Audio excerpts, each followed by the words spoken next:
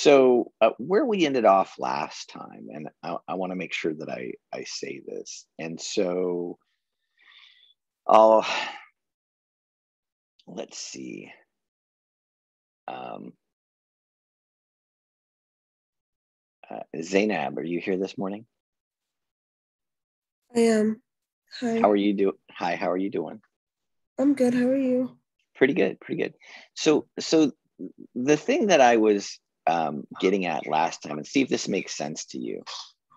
So, if we we think about prices and quantities, they are really serving two different functions. My main point last time was that the quantity that ends up being traded in the market um, that is what you need to know to figure out whether or not there's an efficiency problem.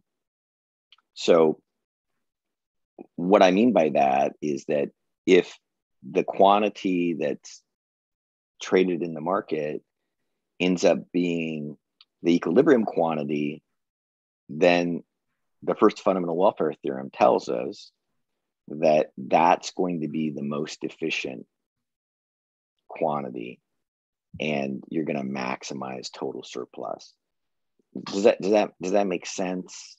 Um, yeah it does. okay.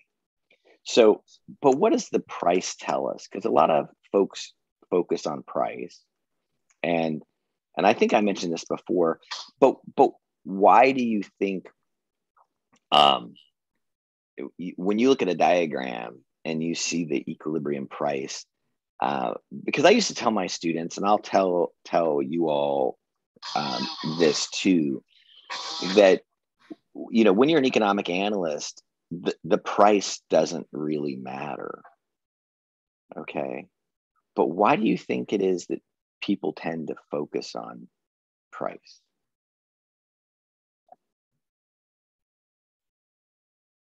Zainab? Because they have to purchase it? Yeah, I think you're right. So everybody that comes into this class, and I don't know if you can speak up a little bit and say that because I, I, just heard you barely, so I'm not sure everybody else could hear you. Okay. Um, because I have to purchase it at that price. Yeah, so I think students tend to focus on the price because you all are used to being consumers, right? And we all know that the price is important to us as consumers to figure out whether or not we're going to buy the good, we're going to purchase it or not. And that is important. But as an analyst, remember, price is really only secondary. Price only does exactly what you suggested, Zainab, is price tells us what quantity buyers and sellers will choose right so so it tells us um,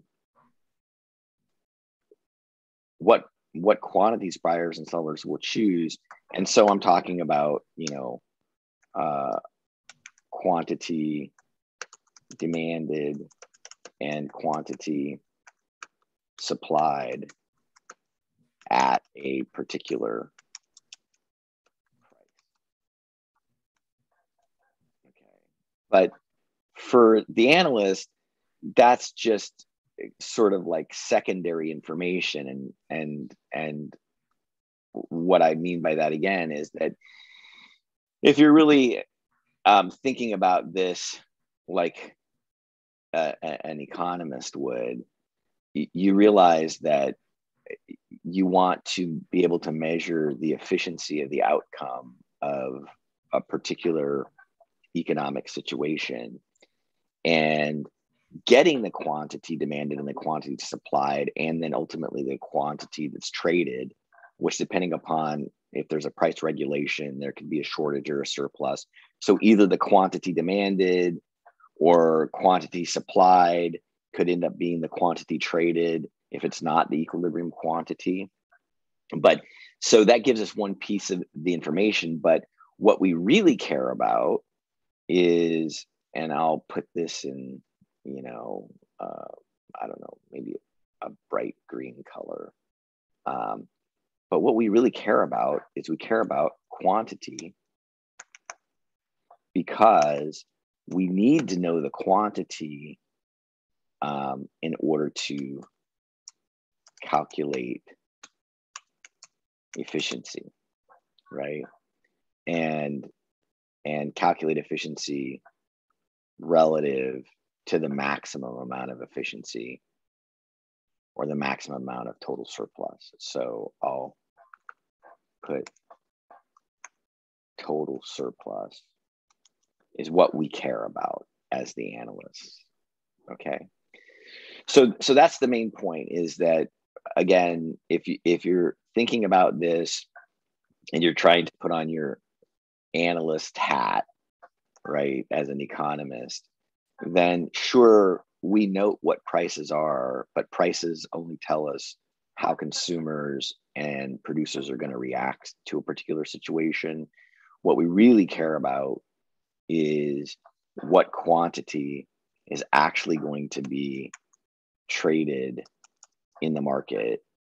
And we care about that because that enables us to, to figure out whether or not we have um, an efficient economic outcome or an inefficient one. So quantity is the most important issue. Okay. So, so we were talking about price regulations. So I'll be uh, more concrete and I'll draw a couple of graphs. Okay.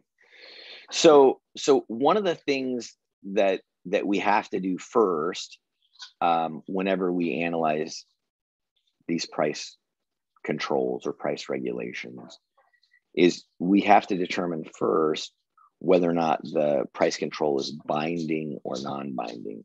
So I'm going to talk about the binding case first.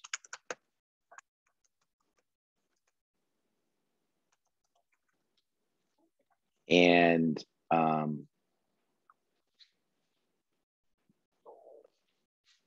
and they're going to be two types, right?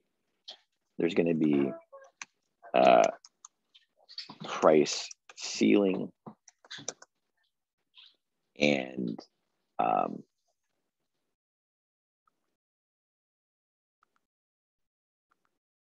uh, price floor. And just to be clear, the price ceiling means a legal maximum price, right?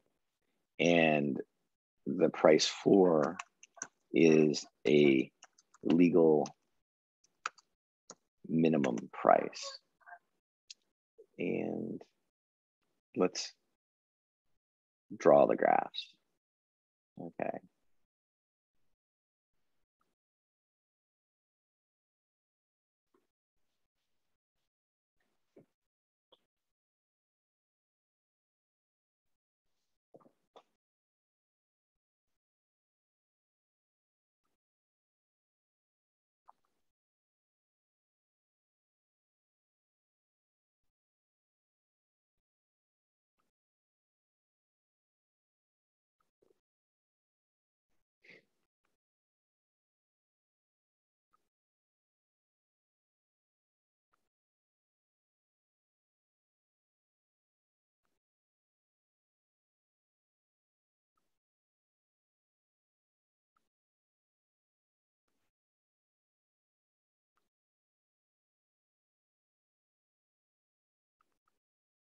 Okay, so I'm labeling the intersection, the equilibrium in orange.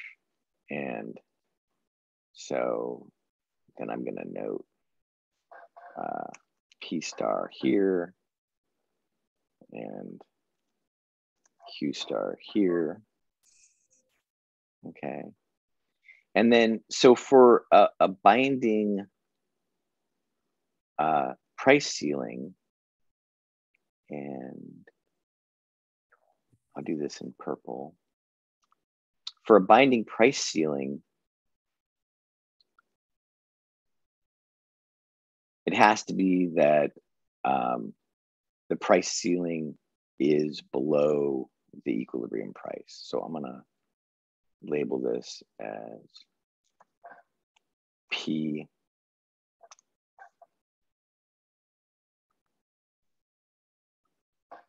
P L for a price that's lower than the what the equilibrium price would be.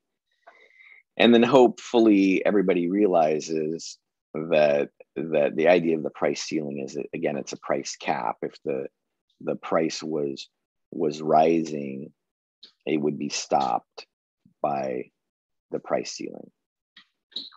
Okay. So the the next question is okay so what um you know quantity is going to be realized in the market? And we talked about this a little bit last time. And let me see i want to do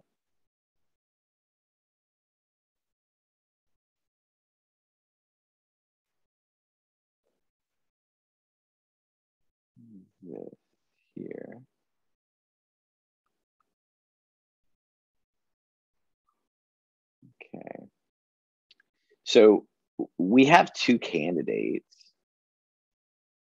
Um, we have a, a, a, quantity demanded at that price, and we have a, a, a quantity supplied at that price. So here and here. Right. But we also know that there's going to be a shortage, that the quantity demanded is going to be greater than the quantity supplied. So um, sellers, and I'll put this as QV, are going to want to sell that quantity. Right. And uh, buyers are going to only want to are, are going to want to purchase more. Right? And since the regulation just simply caps the price if sellers want to sell a smaller quantity than buyers want to buy then then qv is going to be the actual quantity that's traded. Whatever sellers are willing to supply at that price is what's going to be in the market. And then um, what we want to do next is we want to go ahead and um, begin to, to measure the total surplus. So I go ahead and am taking the line up there because at this point, we should be in pretty good shape in the sense that if we want to look at total surplus, we know that total surplus is always going to be the area that's below the demand curve and above um, the supply curve and to the left of the quantity traded. So can you see this uh, yellow trapezoid, Zainab? Yes. Yeah. So, and what's the amount of um, efficiency that's lost or the total surplus that's lost relative to the equilibrium quantity? Can you see that? Yeah. What, how would you how would you um, label it or or highlight it or whatever? Where should I it's color in. It's that triangle. Yeah. So this is this is our dead weight loss triangle or our loss total surplus as a result of, of the price ceiling. Okay, good job. So the one other thing that I want to I want to note is that um, this area of of total surplus, I don't know if you can see it it it, it clearly or not, but um, it can be broken up into a consumer surplus and um, producer surplus. So can can you can you see that? So so this is our total surplus here, right? Um, but we haven't divided it at this point between the buyers and the sellers. Do you see what I mean, Zainab? Yeah. Yeah. So so which part would be uh, the consumer surplus under the price ceiling? And and which part would be the producer surplus?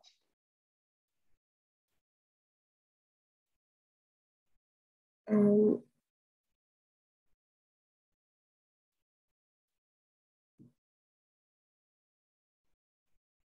I'm not sure.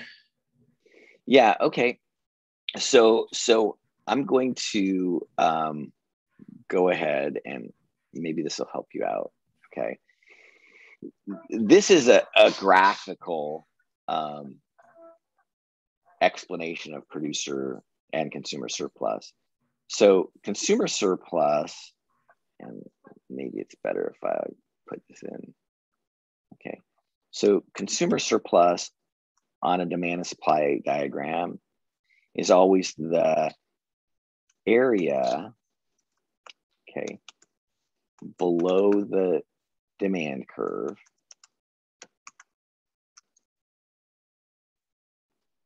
and maybe I'll I'll draw this out this way.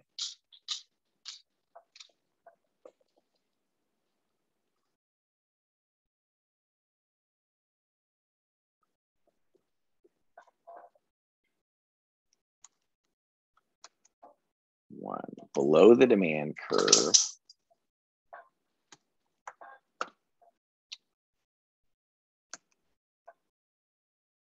Two. Above the price the consumer pays. And three to the left of the quantity demanded by the consumer. Now, I, I put a little asterisk there because um, you can have a quantity demanded and a quantity supplied, right? Um, but here, when I say quantity demanded, right, it, it could be that the actual quantity of the consumer um, is is less than the quantity demanded, right? Because if the the suppliers are um, are not supplying their entire quantity demanded, so so it, it's better to say um, to the left of the quantity traded. Okay, but I just want to be clear. You want to make sure that you understand what's actually happening in the market, um, not just what the consumers want. Okay. So I don't know if that is helpful, but we'll talk about it a little bit more. But then the producer surplus on our graph, likewise, it's going to be an area and it's always going to be above the supply curve.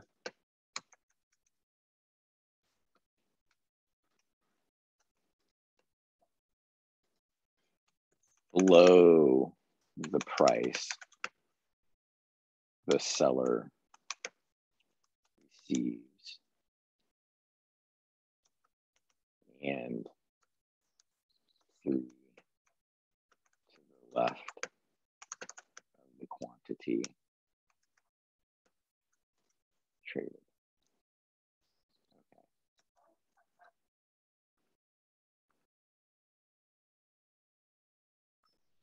So now let's go ahead. So I don't I don't know if if um, you can remember these definitions um, or these graphical definitions. But let's just concentrate on the first one, the area below the demand curve. So let's look over here. Okay, you with me, Zainab? Yes. Okay. So here's the demand curve, right? Yeah. And we're looking to the area below the demand curve, which means it's got to be down here someplace, right? I mean, these are all candidate areas. I'm just pointing this is all below the demand curve, right? And then the the second part says above the price the consumer pays. Well, here, what price is the consumer going to pay?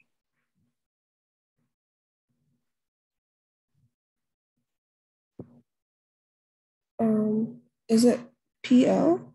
Yeah, they're going to pay the the price ceiling price because the price ceiling is binding, which means that's the price they're actually going to see in the market.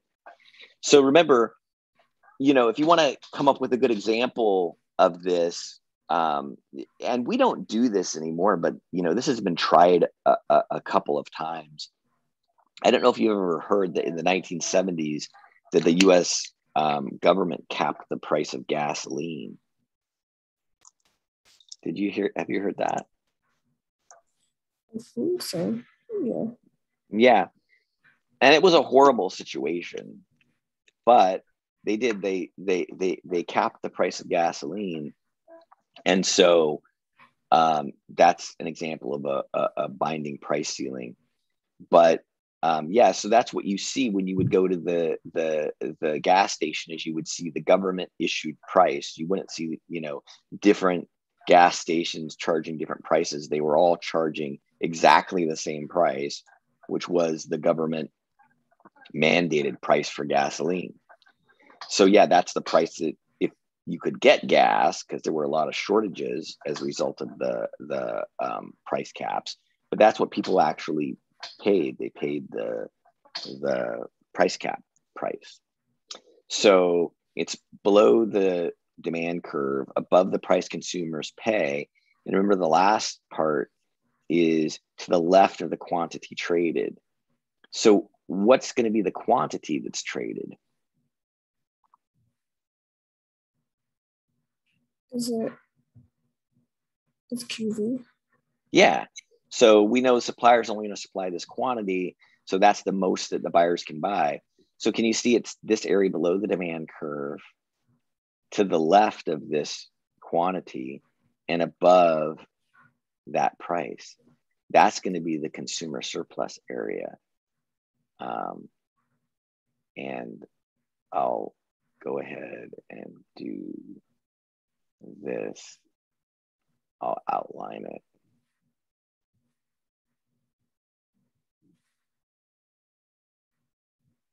It's going to be this trapezoid up here. Okay. So that's going to be the consumer surplus. And then we could do the exact same analysis, but I think you could probably see what part is going to be um, the producer surplus now, right? Yeah.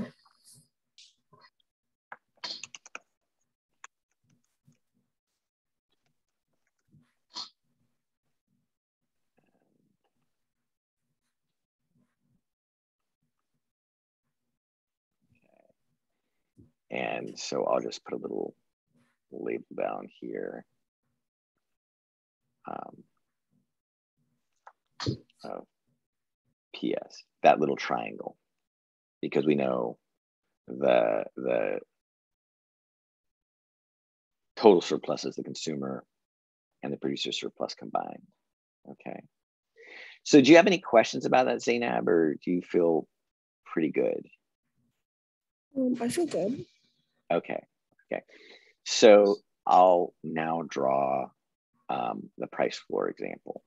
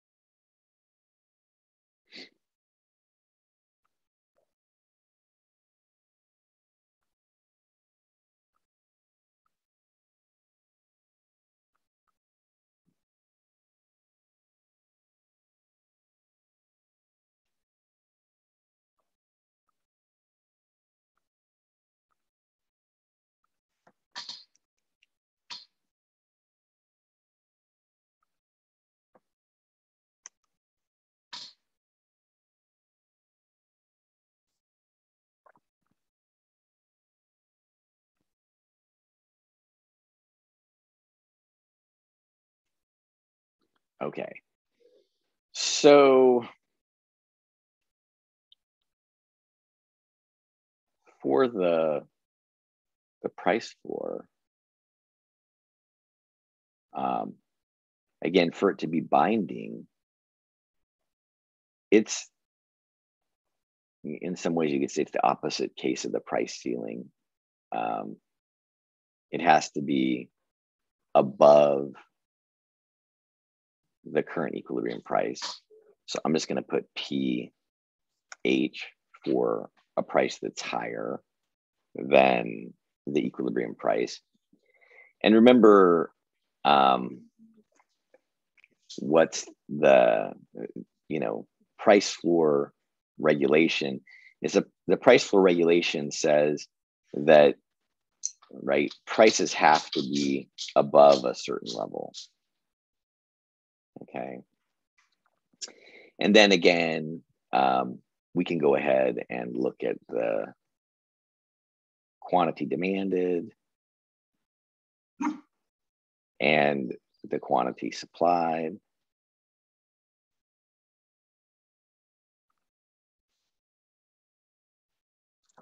under the price regulation.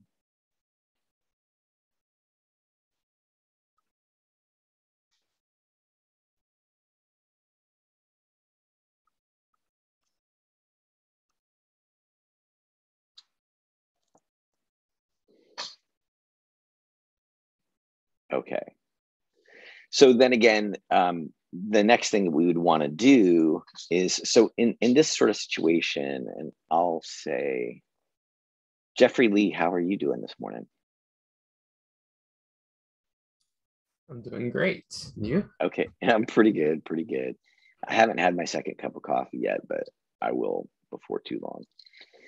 Um, so here, um, again, we're interested in the issue of of of you know efficiency. So we have to find what quantity is going to actually be traded in the market.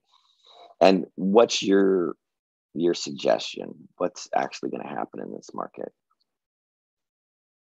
Uh, price floor. I don't know okay well well work work this out right? So remember the price floor is a legal minimum price right?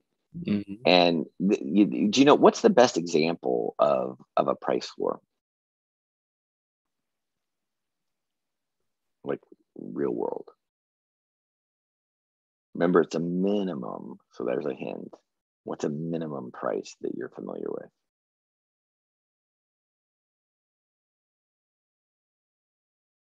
Uh, I, I'm blanking right now. Sorry. Okay, I'll give you a hint. Yeah. It's fifteen dollars an hour. Oh, minimum wage, right? Right. Wages are a price, right? They're mm-hmm. what are they a price for? A price for labor. Yeah, it's a price for labor, the labor market, right? Now, who are the buyers in the labor market? Uh, buyers would be employers yeah businesses right? Mm-hmm. and and and and i mean primarily businesses. It could be government agencies employ people too but we will leave them out. So because they're not they're not private sector right? They're not dealing with with having to to pay for the cost of the goods that they produce. So they're being funded by tax revenue. So their situation's different. But private sector employers are on the the demand side in the labor market. Um, so, so, um, and who's on the supply side? Uh, the workforce. Yeah, us, right? Workers. Um, we're offering our labor for sale to the businesses, and the businesses are deciding whether or not to buy it. Now, uh, I, am going to ask you to try to imagine something because it, it's really, really hard, um, you know, with inflation to to know um, whether or not the current minimum wage is really um, above what the equilibrium wage would be. It really depends upon the market that you're in. Um, and I don't know if that makes sense to you or not, but but in places like Oklahoma, um, where you know they're just subject to the federal minimum wage, which I don't know what it is right now, but last time I looked it up, it was like seven dollars and seventy five cents an hour. A lot of people there are happy to work for minimum wage because the cost of living is so much cheaper, right? Mm-hmm. And in places like San Francisco, um, you know, they've been at $15 an hour. I think they were one of the first cities to adopt a local minimum wage of $15 an hour. And um, there, by the time they adopted it, a lot of people in the city were already making $15 or more um, because the cost of living is so much higher, right? So if you think about yourself, if you're a restaurant employee in San Francisco, um, you're probably living in a nearby community, but you have to commute. And so if you're someplace like, I don't are you familiar with San Francisco at all? Uh, I've been there a couple of times. Yeah, I don't know if you've heard of like, you know, any of the areas around there, like Oakland or Daly City or any of those places. But you might you might work in San Francisco and then live like in a community that's next to it Mhm. but then you've got to commute and all the rest of it and and um, anyway so to work as like a a waiter or a waitress or a busboy or something that's like a minimum wage occupation uh, you're not not considering tips necessarily right um, in san francisco you probably don't live in san francisco because the rent is just too high but the places nearby might be uh, affordable but then you've got to commute right so so a lot of those people were already making $15 an hour. So so there's a big question of whether or not $15 an hour is a binding minimum wage uh, in places that have implemented it. Because in order for it to be binding, it has to be above what employers were paying before the the, the minimum wage ordinance was passed, right? There has to be somebody who gets a higher wage as a result of the minimum wage, or it's just not binding. Uh, does that make sense, Jeffrey? Uh, yeah. So I'm going to ask you to imagine something else, right? Imagine a minimum wage of $30 an hour. Okay. Okay. well, or you could pick another number. What number do you like that's higher than 15? uh, I don't know. We could go with 30. I mean, I'm just picking. You, know, you say fifty dollars an hour if you like. You know, I always I always play with my students when I talk about the minimum wage, because you know it, it's it's kind of like ingrained in the culture a little bit, and and you know to really be dispassionate about these things, you have to lay everything out on the table and and um, you know get rid of your preconceived biases and, and and the rest of it. But a lot a lot of students when I say, well, you know, I mean, basically, the implication, I mean, if you actually, and you should ask yourself this question. This is kind of like a, a question for for Riley Patrick in particular, because you know he was sort of a, a staunch defender of rent control um, last last time. Um, but the the question, if, if you're going to try to think about these things as an economist, is to say, well, if I know it's inefficient, uh, why do I not care? And if the answer to that is because you don't care about efficiency, well, then you know you need to think more deeply about what efficiency means and why it's important, uh, or why it's not important. I mean, that's all we do in our discipline. Um, primarily is like we figure out what's the equilibrium going to be. In fact, one of the things that I've often told students is that you know your job so the the economist's job description simply put is is this um, you only exist to answer two questions what is the um, prevailing price and quantity. Um, and so a lot of times I'll state this as find the equilibrium. So you have to be able to describe the equilibrium. That's job one, describe the equilibrium. So what what price and what quantity, right? So find find P in Q for a particular situation. And the second part of the job description is measure the efficiency of the outcome. And normally this is, you know, relative to the maximum um, total surplus available. That's it. Um, um, maximum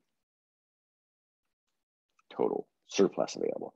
So, so, so yeah. I mean, if if you want to put it really succinctly, if you think about all the problems we're solving, um, right? You find P and Q, and then you find the associated total surplus, right? I mean, th- that's all that economists do. I don't I don't know if you disagree with me or not, Jeffrey, but if if you come up with something else that you do as an economist, let me know. right? But that's all i see all my colleagues in all the classes that we teach whatever they are in the upper division. Um, you know i teach a research class and some people may be enrolled in that that are in in this class. It's better to take it after this class but but basically the the the, the research part of it is sometimes we don't know what the p and the q are going to be in a certain situation and so we're doing some investigation to kind of find out what they are and sometimes there are subparts to finding p and q but you know we just find p and q and and then we measure efficiency and that's all we do. So you know if you're an economist and you don't think that efficiency is really important then you need to find out kind of like well what should our discipline be doing besides what we are doing that's a good question.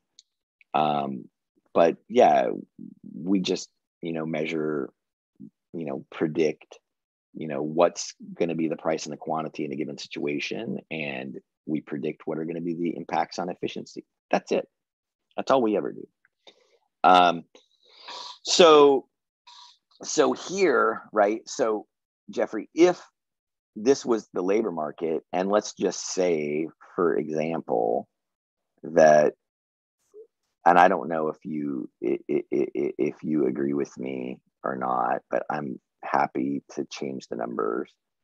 Um, but let's just say, for example, that the equilibrium wage would be 15.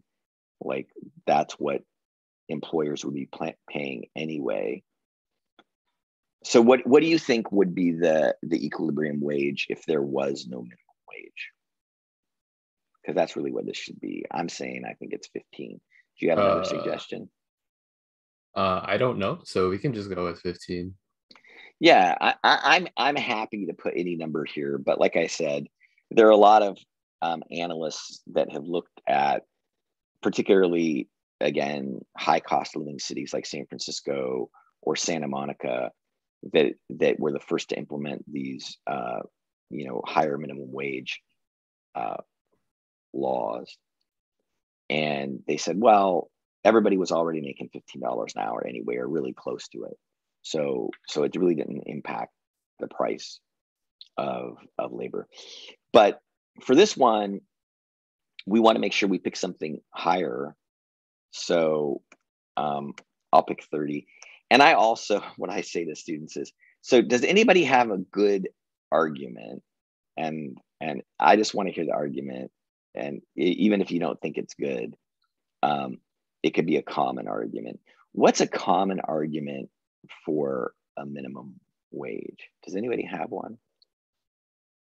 What do you hear, normally hear people say? I don't know if you guys have seen the signs like the fight for 15 you know? It's got a nice ring to it. Anybody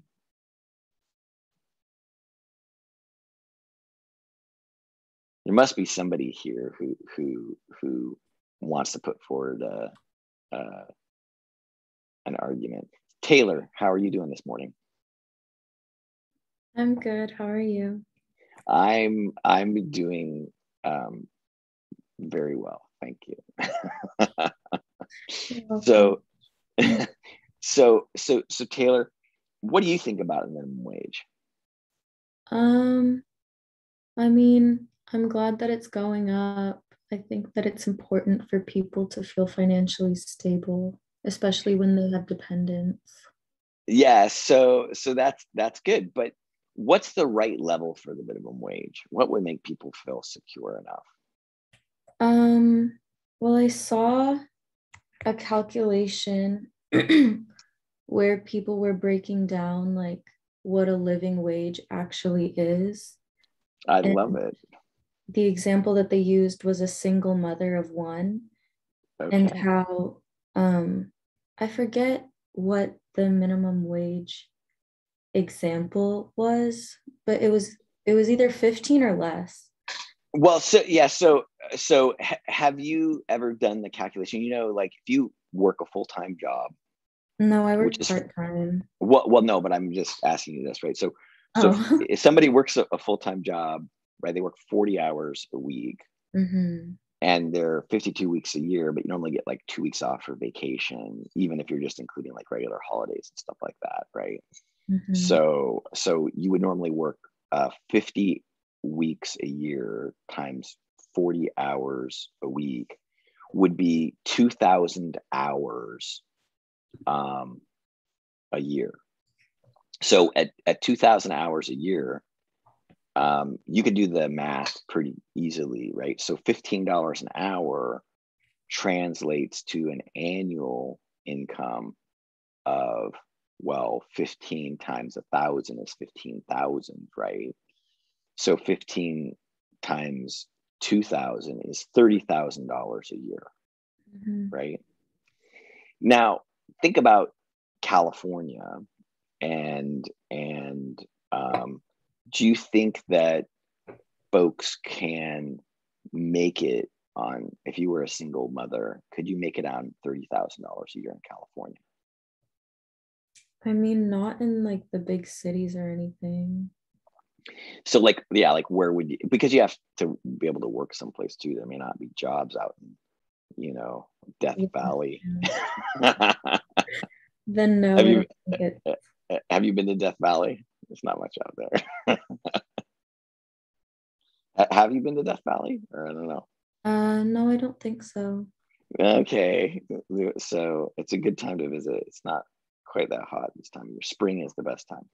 But um so so yeah, like maybe in the outskirts of San Bernardino or whatever, you think you can make it on 30 grand.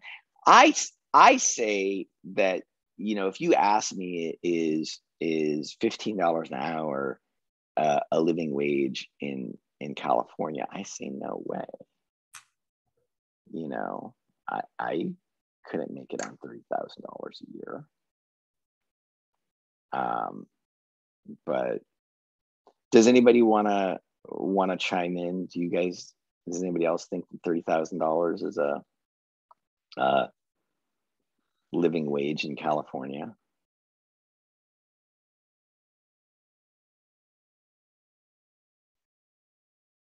No.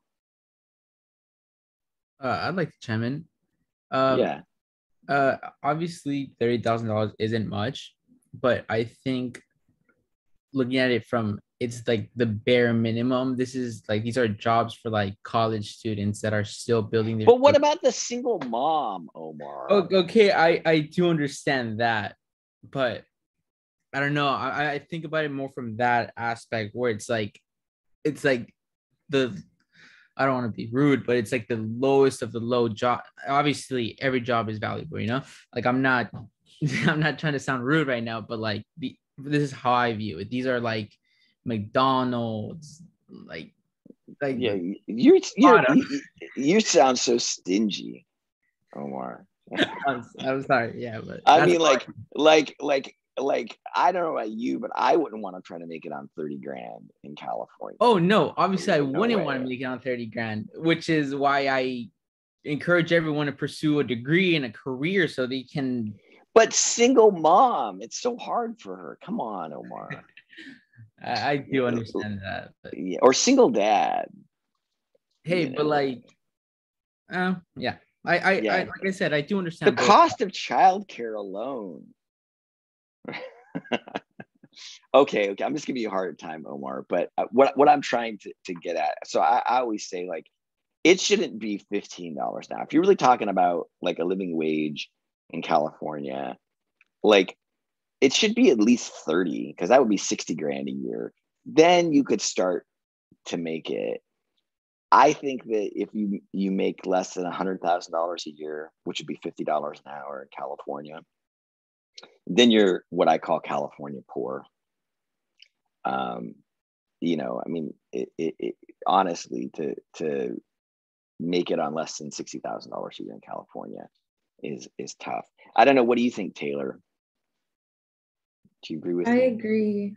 No, I agree that the minimum wage should be higher. Yeah, but I'm trying to get you to like think about it like holistically. Do you do you, do you think 30 sounds right? I think 30 sounds a lot better than 15. And what about 50? I mean, that sounds better than 30. Yeah, what about a hundred dollars an hour? For Then minimum, then we're actually talking. Yeah, because if if, if fifty thousand dollars, a hundred thousand dollars a year in California, that makes you, you know, just like kind of like doing okay. But Mhm. but if we made it a hundred dollars an hour, then the minimum anybody would make in California would be, you know, like two hundred thousand dollars a year. There, I think you can actually begin to live. But how would that not like factor into inflation if everybody? Oh, see, you didn't even. yeah, I don't know if you noticed or not. So, so you're saying that there might be an impact on the cost of burritos at Del Taco if we were paying the people over there a hundred dollars an hour. I might not be able to get my my ninety nine cent bean and cheese burrito. Basically, Ah, oh no. I'm gonna have to go rethink this then. Yeah. So actually, just as this, just an aside, I, I, I I'm, I, I'm, I'm, um, being uh, facetious for effect to to get you all to think about this stuff. You know, it's really easy to think and say, ah, you know, fifteen dollars an hour. Yeah, people at least deserve that, and then to think like, oh, well, there's not going to be any impact in inflation. But if we go from 15 to 30 or 30 to 60 or 60 to 120, we've doubled the wage each time. There's going to be an impact on inflation. If we go from seven to 15, we've also doubled the wage. There's going to be an impact on inflation. There's going to be an increase in the costs, right, for businesses. So, so I, I think I think sort of um, the thing that we all need to be careful about as economists is is that you know imagining something that seems familiar to us meaning like oh around $15 an hour that that's not having the same type of impact as something that's unfamiliar to us right? Oh yeah well going to 30 or going from 30 to 60 oh well now we have to worry about inflation. And in fact i don't know if if you all have kept track of the statistics. It's more my job to do it than yours but i do recommend that all of you um, you know regularly read the wall street journal. Um, they have a nice um, little email that you can sign up for where um, they'll give you all the like latest statistics on inflation and employment and stuff like that but actually even though um, minimum wages have been going up because of the price increases that we've seen in the last year uh, real wages, meaning the purchasing power of, of workers, has gone down by about 4%, even though we're paying more. Now, I'm not going to say that it's a slam dunk case that that's all because of increased cost of labor going into increased prices that businesses are having to charge, but that's part of it. So let's go ahead and, and go back to um, this story. And um, i was talking to jeffrey in the very beginning and and thanks for for uh, um, your input taylor. And i forget who else was helping us out. And omar I don't know if anybody else has a, a comment, but I want to head and finish up this analysis. Um, Jeff, are you still there? Yeah. Yeah. So if we go from 15 to 30, um, what we can see in our diagram, right, is that businesses, right, before at the equilibrium, Q star was equal to the amount of, here the quantity is hours of labor or employees, number of employees, right?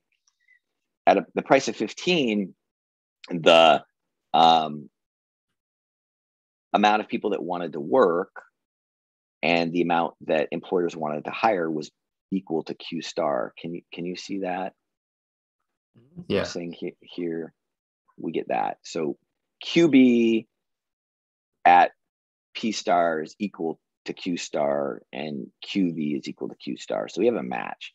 There's no um, what we would call uh, an excess supply of labor or unemployment at P star.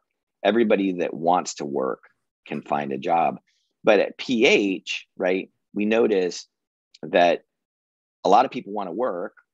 You know, I mean, just imagine if we suddenly change the minimum wage to $3 an hour, how many people would be out looking for a job, right? Yeah. That might otherwise be sitting home at, you know, and deciding not to participate in the labor market, not be looking for a job, right?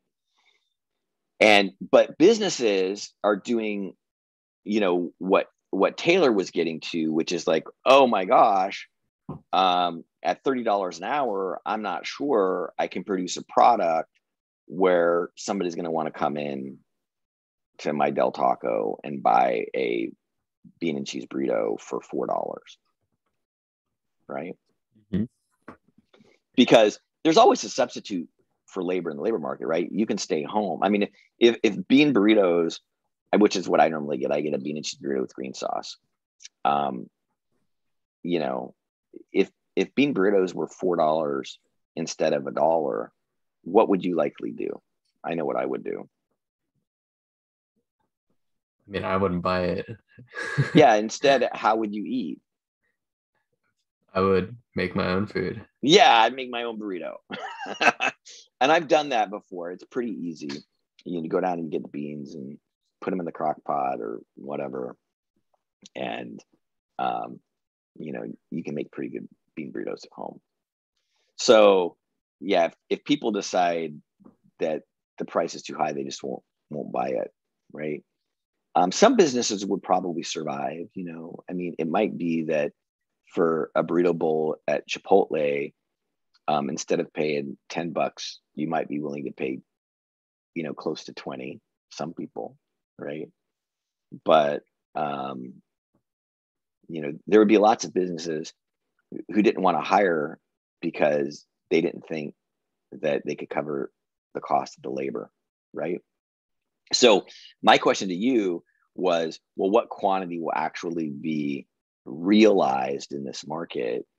Uh, and it would be, right, it would be the quantity demanded, right? The quantity supplied is in excess of the quantity demanded, but you can't force buyers to buy what they don't want to, right? Mhm. Does that make sense? Yeah.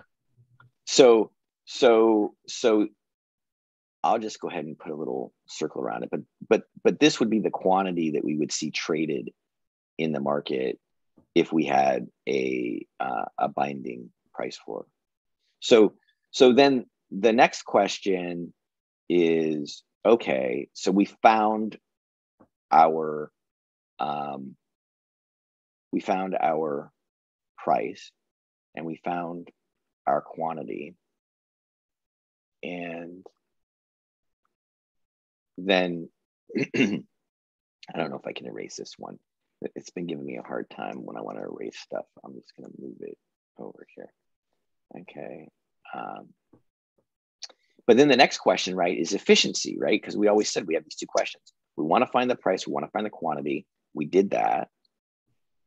Um, now, how do we measure our efficiency? Can you can you see it, Jeffrey? Uh, yeah, the total surplus. Yeah. So, yeah, that tiny triangles are consumer surplus. Okay. So you identify the consumer surplus. hmm And and what about the the uh the producer surplus? It's that like big trapezoid underneath. Yeah, so so the total surplus is going to be all the area between the demand and supply curve, right, up to the quantity that's actually traded, right? So there's this there's this big trapezoid, this total surplus, and you were talking about the breakdown between the two, right? Mhm. And then can you see the area of of lost total surplus, the Yeah. the, the dead weight loss? Yeah, it's the triangle right next to it. yeah so so we give up all of this right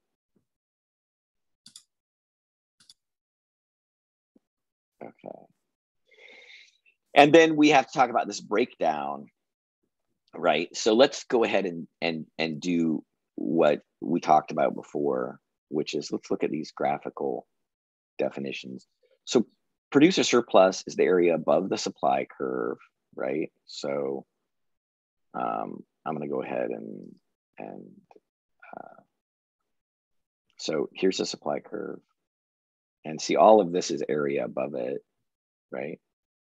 All this this is above the supply curve, right? Jeffrey, you agree? Yeah, That's above the supply curve. That's above the supply curve, right? And then the next part is so above the supply curve, below the price the seller receives. Well, um, the seller here is the minimum wage worker, right? Mhm. And what price do they get for their labor? Well, 30. Right. yeah, they get 30, right? So it's below this. So, and you notice here, right? See how it's how the this graphical definition is slowly limiting the area. You can see like all of this is above the supply, but see this area over here, right? This is also below the price. See this like white Yeah. uncolored triangle, right? Mhm. So we're we're we're still above and below, but we haven't limited it the area entirely. And then we say, oh, to the left of the quantity traded, and that's our that's our last bit. And our quantity traded is down here, right? Mhm. Yep. So what's to the left of the quantity traded? Well, it's it's it's you know all of this over here, right? I mean, this is to the left of the quantity traded too. Can you see where I'm? This little Yeah, uncolored trapezoid, right? but, But if we put those be- three to yeah, if we put those three together, it's above, it's to the left, and it's below this price. And then you just end up with this is and this is technically, I don't know if you know the difference between this big trapezoid here and this littler trapezoid here. What's the difference in in the shape in terms of the name? But I don't know if this this sounds um, good to you or not, but we call this one a right trapezoid because it has a right angle on one of the sides. Can you see it? Yeah, that makes sense. So, so this right trapezoid is the producer surplus. And then that little triangle up there, as you properly identified, is the consumer surplus. So good job. And I'll just label it to make sure that everybody sees it. So I'll say PS with binding price floor.